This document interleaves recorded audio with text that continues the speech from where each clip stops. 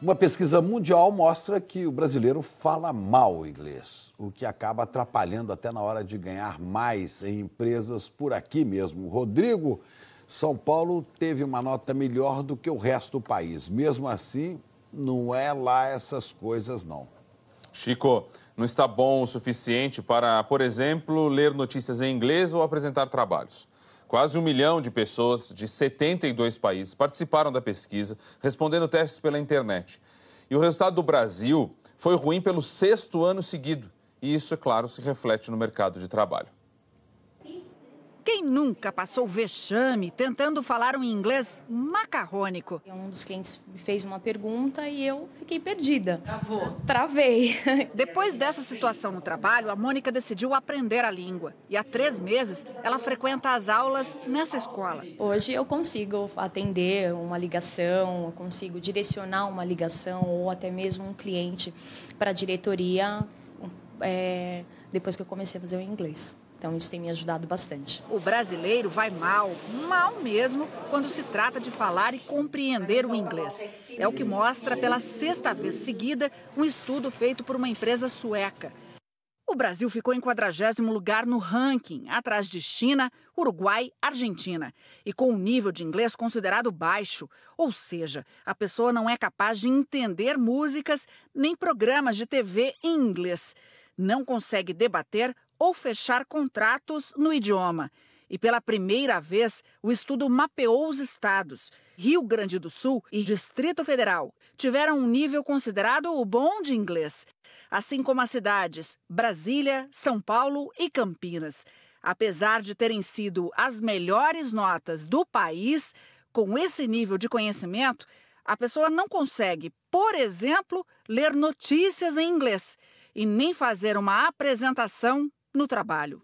Para o instituto que fez o estudo, falta ao Brasil um investimento maciço em educação. Nós identificamos que países que tiveram políticas de ensino que incluem o inglês como uma das línguas obrigatórias para serem aprendidas por suas populações evoluem muito mais. Mas para o presidente da Associação Brasileira de Recursos Humanos de São Paulo, não dá para esperar o governo. Cada um deve investir o que pode no próprio aprendizado. Hoje em dia existem cursos de inglês online perfeitos hum, que as pessoas podem aprender inglês, às vezes até baixando um aplicativo sem gastar dinheiro. É ter vontade. Aprender inglês por pelo menos duas horas por semana, ir além do good morning, goodbye, nice meeting you, faz um bem danado para a carreira. Uma pesquisa mostra que quem fala inglês fluente tem um salário até 61% maior do que quem não domina o idioma. I prefer cell phones than books. Lorenzo nunca foi muito amigo dos livros de inglês, mas quando começou a trabalhar numa multinacional, percebeu que o idioma encurtava caminhos. Quem está acima de mim já fala inglês fluente, espanhol fluente, e eu ainda estou só no inglês básico. Assim, ele espera um dia virar diretor da empresa.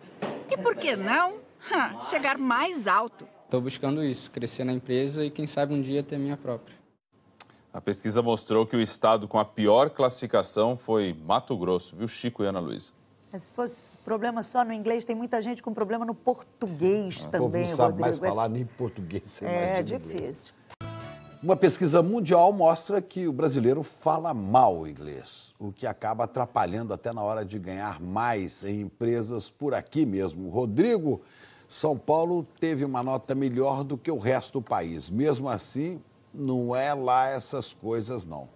Chico, não está bom o suficiente para, por exemplo, ler notícias em inglês ou apresentar trabalhos.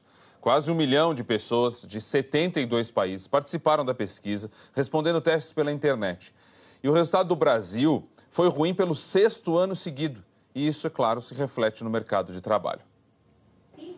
Quem nunca passou vexame tentando falar um inglês macarrônico? Um dos clientes me fez uma pergunta e eu fiquei perdida. Travou. Travei. Depois dessa situação no trabalho, a Mônica decidiu aprender a língua. E há três meses ela frequenta as aulas nessa escola. Hoje eu consigo atender uma ligação, eu consigo direcionar uma ligação ou até mesmo um cliente para a diretoria é, depois que eu comecei a fazer o inglês. Então, isso tem me ajudado bastante. O brasileiro vai mal, mal mesmo, quando se trata de falar e compreender o inglês. É o que mostra pela sexta vez seguida um estudo feito por uma empresa sueca.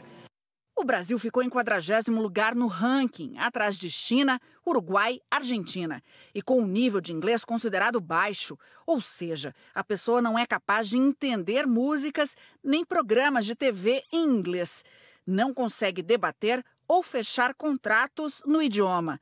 E pela primeira vez, o estudo mapeou os estados. Rio Grande do Sul e Distrito Federal tiveram um nível considerado o bom de inglês, assim como as cidades Brasília, São Paulo e Campinas.